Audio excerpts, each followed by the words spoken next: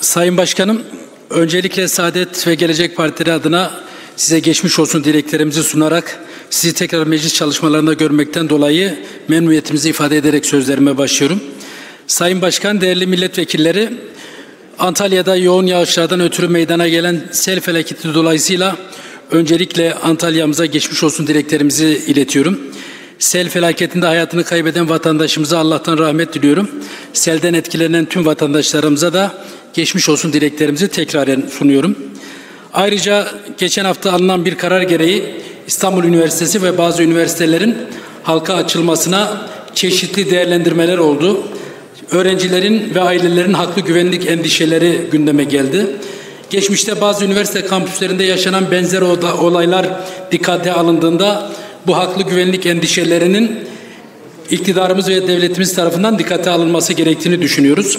Üniversitelere halka açmak elbette kulağa hoş gelen deyimlerdir ama sokaklarımızın bile artık güvenli olmaktan çıktığı bir dönemde gençlerimizin eğitim kalitesi ve huzurunun popülizme kurban edilme endişesini de taşıdığımızı ifade etmek istiyorum. Dolayısıyla bu kararı verenlerin gerekli önlemleri almaya ve bu hususta aklı selimle tekrar bir değerlendirme yapmaya davet ettiğimizi tekrar ifade ediyorum.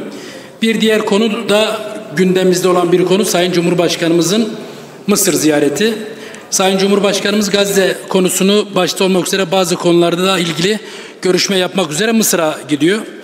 Tabi bu vesileyle 10 yıl önce Mısır'da bir askeri darbe olduğu zaman meydanlarda Rabia işaretiyle dolaşan iktidar mensuplarının da bazı acı gerçeklerle yüzleşmesi gerektiği kanaatindeyiz. Zira o dönemde Mısır Türkiye'ye herhangi bir tavrı koyduğu için değil, kendi ülkesinde bir askeri darbe yaptığı için ve kendi vatandaşlarına dönük katliama varan şiddet uyguladığı için biz Mısır'la bütün diplomatik ilişkilerimizi askıya almış ve sert tedbirlerde bulunmuştuk. Dolayısıyla bu vesileyle ne değiştiğini hep beraber sorgulamak zorundayız. Çünkü Mısır'da yönetim değişmedi. Sisi'nin geçmiş yaptıkları yanlışlıklara dair bir netameti de söz konusu olmadı. Hatta daha ilerisini hatırlayalım. Sayın Cumhurbaşkanımız Birleşmiş Milletler toplantısında Sisi ile aynı masada oturtulması planlandığı zaman demişti ki ben bu toplantıya katılmam. Niye? Çünkü o adama meşruiyet kazandıracak kadar meşruiyetini kaybetmiş bir lider değilim. Katılmadım çünkü bizim izzetimiz var, bizim onurumuz var demişti. O halde şimdi sormak gerekir. Değişen neydi?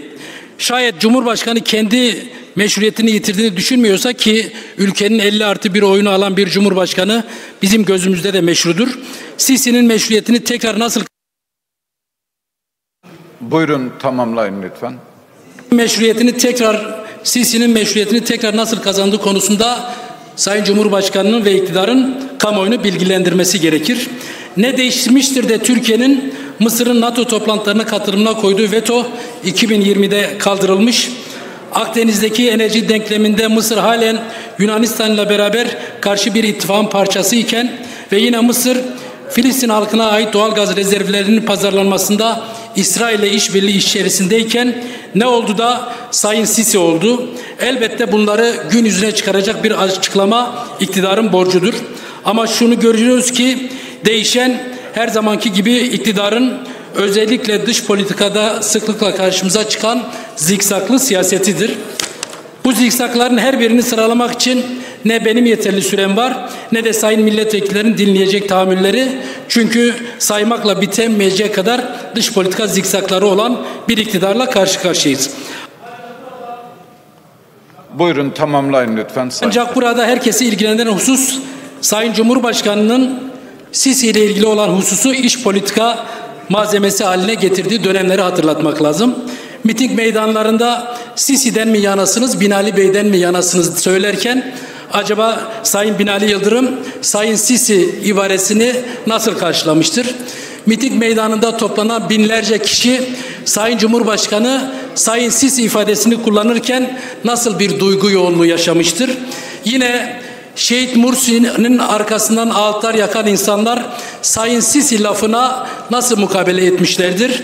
Yine Rabia Meydanı'nda katledilen Esma Biltaci'nin arkasından babasının mektubu okunurken gözyaşlarına boğulan Sayın Cumhurbaşkanı Sayın Sisi ifadesini kullanırken Esma Biltaci'nin ruhuyla nasıl yüzleşmiştir? neler düşünmüştür? Ve yine Mısır'da zindanlarda olan Ee, bitirelim lütfen. Buyurun. Yine Mısır zindanlarında hala işkence altında hürriyetinden yoksun olan binlerce darbe karşıtı kişi Mısır zindanlarındayken Sayın Erdoğan'ın Sayın Sisi hitabını nasıl karşılamışlardır? Dolayısıyla yine Mısır'da kendi ülkelerine dönemeyen Türkiye'de ve değişik dünya ülkelerinde sürgünde olan Mısırlılar Sayın Sisi hitabına nasıl karşılık vermişlerdir?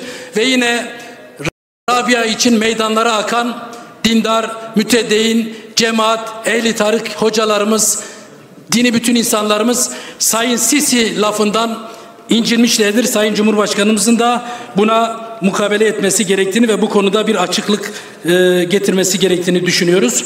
Dolayısıyla biz elbette diplomasinin ne olduğunu, ülkeler arası ilişkilerin ne manaya geldiğini bilenlerdeniz ama inşallah Sayın Cumhurbaşkanı bu vesileyle dış politika ile iç politika ayrımını yapar. Teşekkürler Sayın Kaya.